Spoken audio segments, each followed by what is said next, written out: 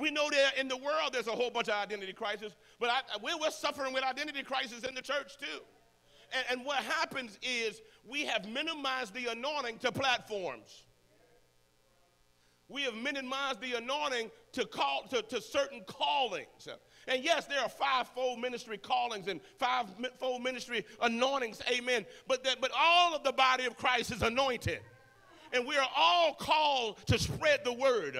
I shared in our prayer meeting, amen, from Acts chapter 8, how the church was scattered and it was being persecuted. And while it was being persecuted, the Bible said, and the word spread everywhere.